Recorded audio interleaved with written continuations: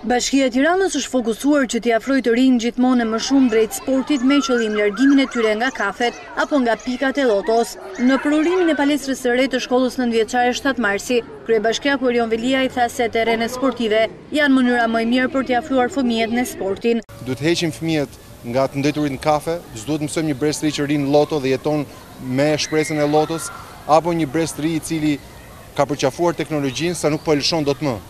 IPad-i nuk mund ta rrisi një fëmijë. Zhvillimi i zgjedhjeve të tetëmbëdhjetë qershorit sipas Veliajt ka një rëndësi të veçantë për të ardhmen e punëve në kryeqytet.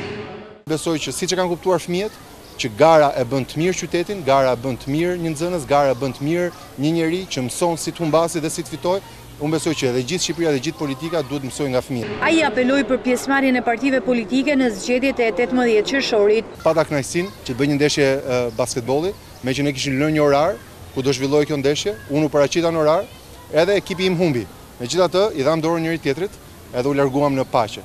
Kjo besoj kuptohet dhe nga fëmijët, që dhe ndeshjet e tjera, qofshin këto dhe ndeshje politike, Kur ka një datë si data tetëmbëdhjetë qershor, një orar, palët paraqiten dhe pastaj rezultati duket nga mënyra se si bëhen koshat edhe bëhen pikët.